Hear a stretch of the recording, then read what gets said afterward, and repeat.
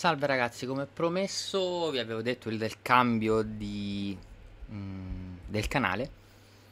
Oggi farò un video su Baldur's Gate, ma non tanto su Baldur's Gate 3, ma sulla storia di, diciamo, di Baldur's Gate 3, su come è nato il gioco, come si è sviluppato e perché c'è tutta questa fiducia nei confronti di... Ehm, di Larian Studio, Studios nei confronti del, del lavoro. allora, Baldur's Gate è un gioco che è uscito nel 1998 eh, e fu, diciamo, il primo del suo genere. Mm, fu un gioco sviluppato da BioWare, era il produttore, e eh, Black Isle era lo studio che l'ha sviluppato. Eh, perché fece molto successo? Il gioco era basato su Advanced D&D con i regolamenti ufficiali che in quel periodo comunque il gioco di ruolo aveva un grosso hype. È... adesso esistono tantissimi giochi di ruolo cartacei, ma anche in quel periodo sicuramente ce n'erano molti, ma D&D aveva un grosso, grosso seguito. E quindi la Community ha preso il fatto che um, dell'uscita di un gioco di ruolo eh, con regolamento di D&D eh, dove lo sviluppatore aveva promesso di cercare di riuscire a dare al videogiocatore il massimo della resa mh, mm, di quello che poteva essere un gioco, eh, un gioco di ruolo cartaceo.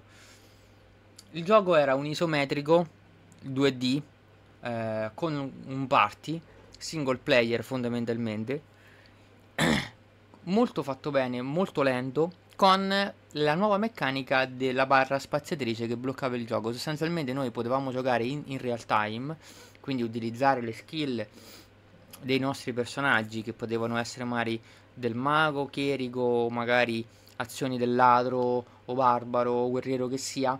Eh, ma con la barra spaziatrice potevamo fare pausa in qualunque momento, selezionare le azioni dei nostri personaggi, ripremere la barra e continuare il combattimento, ripremerla nel momento in cui magari dovevamo prendere una pozione eccetera eccetera. Il tutto era scandito dai tempi dei, dei turni di D&D, quindi se D&D ti diceva che tu potevi fare due attacchi a turno, il nostro personaggio faceva due attacchi a turno e tutto era regolato in maniera perfetta. Baldur's Gate fece un successo clamoroso, il gioco era eh, dichiaratamente una piccola parte, perché noi fondamentalmente eravamo in una zona, Baldur's Gate è una città, eravamo in una zona sottostante e eh, il nostro investigare sulle nostre origini ci portava poi a Baldur's Gate la città e nel momento in cui si arrivava a Baldur's Gate il gioco terminava. Il primo gioco ebbe anche un'espansione che, che si chiamava... Eh, adesso mi, non mi viene, però aveva anche un'espansione. Ah, eccola qua, Tales of the Sword Coast, eccola qui. E, e, il livello che potevamo raggiungere era molto basso. È vero che poteva cambiare un livello, se non sbaglio, tra un personaggio e l'altro a seconda dei... Ehm, perché in D&D il, il, il, passaggio di livello non è tutti allo stesso eh, punti esperienza, è livellato a seconda dei, dei vari personaggi eh, se non sbaglio era a livello set, sesto o settimo se, circa. Il gioco ebbe un successo clamoroso. Una volta fatto il primo Baldur's Gate, eh, nel 2000, nel settembre del 2000, uscì Baldur's Gate 2 Shadows of Amn. Eh, il gioco era praticamente quasi solo incentrato a Baldur's Gate. Baldur's Gate era divisa in diverse parti eh, la, la, mappa era divisa in diverse parti. In realtà nel primo Baldur's Gate noi andavamo a uccidere il, eh, diciamo, il nostro rivale, che sembrava il rivale ultimo, invece poi scopriamo che c'era diverso sotto, diverse cose sotto e il gioco si sviluppava in, in una storia diciamo un po' più profonda. Eh, in realtà il gioco non finiva con Baldur's Gate 2, doveva uscire un Baldur's Gate 3, ma poi per varie eh, situazioni e qualche problemino il, non uscì mai un Baldur's Gate 3, però Black Isle riuscì a fare eh, Baldur's Gate Throne of Ball che era un'espansione di Baldur's Gate 2 dove praticamente eh, il gioco andava a concludersi sostanzialmente. Mm, è vero che eh, l'idea di eh, Throne of Ball sembrava un po' una, una toppa, però eh, il gioco ebbe mh, mm, cioè, una degna conclusione. Black Isle poi non è famoso ovviamente solo per Baldur's Gate, ma anche per i primi due Fallout, per l'incredibile Planescape Torment. Il problema poi qua, quale fu è che um, in quel tempo, una volta che eh, BioWare vide che comunque il gioco suscitava parecchio successo, um, fece molti giochi uguali, Planescape Torment, Icewind Dale, eh, Baldur's Gate per l'appunto, il Tempio del Male Elementale, furono molti giochi tutti identici, tutti con il regolamento di D&D, tutti quanti nella stessa maniera. È ovvio che far uscire eh, 7-8 giochi nel giro di 4 anni uguali eh, portò un po' a, alla, diciamo, alla noia al pubblico. Ovviamente poi non furono nemmeno gli unici, fu uno stile di gioco poi preso anche da altri e quindi furono troppi giochi sullo stesso stile ehm, che portò a, a, diciamo, un calo di, eh, di, hype nei confronti di questo stile di gioco. Eh, Icewind Dale per esempio fu un gioco basato sul, mm, sul power play, quindi fondamentalmente erano molta meno storia molti più combattimenti. Planescape Torment invece fu una super perla era tutt'altra cosa, era ambientato in un altro universo, sempre di DD, eh, ma è basato moltissimo sulla storia. Eh, addirittura è famoso il fatto che si poteva finire il gioco anche, anche senza fare combattimenti. E questo uscì praticamente tra Baldur's Gate 1 e 2. Quindi Black Isle in, quello, in quel periodo lavorò tantissimo e BioWare ne diciamo cercò di eh, sfruttare al massimo la situazione. Eh, poi BioWare stessa mh, decise di accantonare la saga Baldur's Gate e eh, creare un, qualcosa di nuovo che fu Neverwinter Night. Neverwinter Night ebbe tantissime espansioni, eh, sembra un gioco basato sul regolamento di D&D, ma cercando di fare qualcosa di diverso con un motore grafico eh, 3D anziché 2D, sempre in isometria, ma con la possibilità di girare alt- attorno al personaggio. Eh, fu comunque un bel gioco, ma questo a noi ci interessa poco, perché poi dobbiamo arrivare a l'Arian Studios. Chi sono i Larian Studios? Fondamentalmente hanno fatto due giochi ehm, che eh, sono eh, Divinity. Eh, allora, in realtà Divinity prima era un gioco mh, mm, diciamo diverso. Eh, il, il primo Divinity era sempre, sempre un, um, action RPG. Eh, io ho giocato eh, Divin- personalmente Divinity 2 Ego Dragonis. Era un gioco molto particolare, eh, visto in terza persona, action RPG, ma più RPG, eh, molto ampio, con molte cose da fare.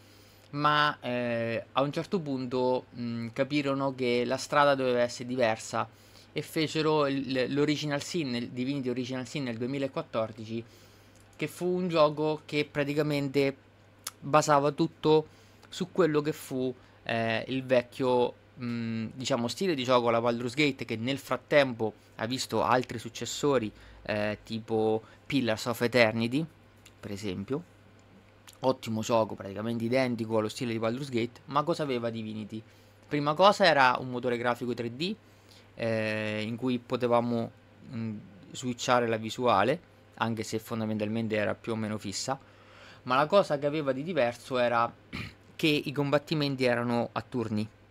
Eh, ogni nostro personaggio aveva un tot di mh, eh, diciamo iniziativa a, durante il suo turno e questa iniziativa mh, che erano rappresentate da dei, diciamo, delle palline tra virgolette veniva consumata da quello che potevamo fare camminare, eh, sparare un, non so, magari fa- effettuare una magia o un attacco. Quindi tutto quello che noi facevamo vedevamo in tempo reale quanto consumava di quello che potevamo fare nel nostro personaggio.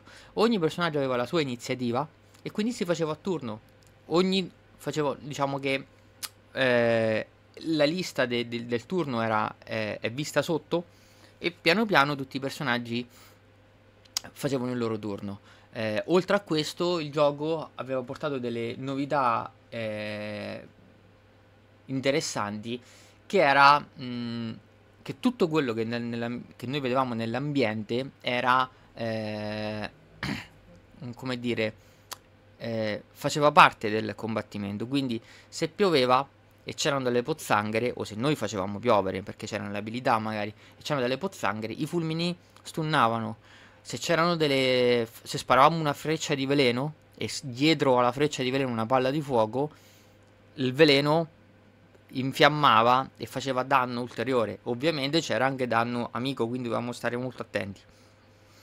I combattimenti erano molto, molto tattici, molto tecnici e la, il, il, livello di difficoltà del gioco era molto alto e eh, molti combattimenti andavano fatti più volte, addirittura è famoso perché Divinity, entrambi i giochi, il boss finale era di una difficoltà assurda. Quindi finire il gioco era una vera e propria impresa. Eh, il secondo Divinity ampliava il primo, quindi aument- è migliorata la grafica, sono migliorate le ambientazioni che erano tutte zone in cui noi, noi facevamo delle zone e andavamo avanti, quindi tutte zone un po' più grandi, più complesse. Il gioco era rimasto più o meno simile ma ha venduto molto sul credito de, diciamo, del, del, primo e il gioco fece grosso successo. Nel momento in cui eh, l'Arian Studios hanno acquisito i diritti per fare Baldur's Gate 3 ed è uscita una prima demo, eh, se non sbaglio, se non sbaglio due anni fa, o forse anche tre, nel momento in cui è uscito l'Early Access hanno venduto talmente tanto, credo tre anni fa, talmente tanto che eh, hanno deciso di rivoluzionare il progetto e rifarlo praticamente da zero perché i fondi per il nuovo gioco erano le vendite del gioco, dell'early access. Eh, da quello che so dovrebbe avere ancora il record di vendite per un early access su Steam, ma molto probabilmente quando uscirà eh, sarà uno dei giochi più venduti della storia di Steam eh, insieme a Cyberpunk, credo che più o meno saremo su quel livello lì. Quindi eh, è per questo motivo che Baldur's Gate 3 ha, eh, si nutre grossissime speranze sul gioco. Sono quasi sicuro che il gioco sarà un capolavoro perché i Larian difficilmente sbaglieranno e perché si sono presi il loro tempo. Ma il gioco lo analizzeremo, credo, eh, dopodomani eh, domani forse, vedendo magari un video gameplay, analizzando il video gameplay insieme, mm, per poi tuffarci nel gioco e cercherò di fare qualche guida o magari sul gioco, su qualche classe, eh, anche perché è un gioco party, quindi avremo più personaggi. Eh, sperando che vi piacciono questi video e che mm, il gioco sia eh, diciamo all'altezza delle aspettative. Vi ringrazio per la visione, ci vediamo credo domani.